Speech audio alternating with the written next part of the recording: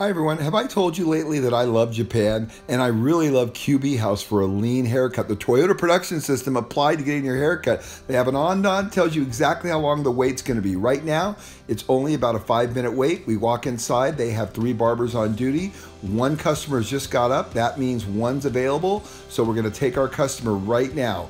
All you have to do is walk up to that little machine right there, put your $10 bill in, you'll get a receipt out. You get the receipt, you get into the queue if there is a queue. In this case, there isn't one. You hand the receipt to the barber. You tell the barber what kind of haircut you would like. They put you down in the seat and away we go. 10 minutes later, you have a great lean haircut. It is absolutely awesome. Everything's been standardized. There's vacuum systems from above that swing over the top. They suck up all the hair. They even have a hole down below. They see the hole down below there. They sweep the hair into there. It sucks it all up.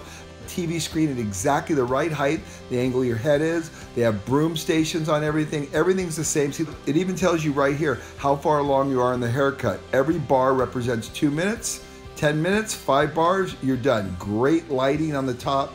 Everything has been thought about here. It is just awesome. And they give you the comb when you're done. They don't waste anything. It is just a dynamite experience. QB House for getting your lean haircut in Japan.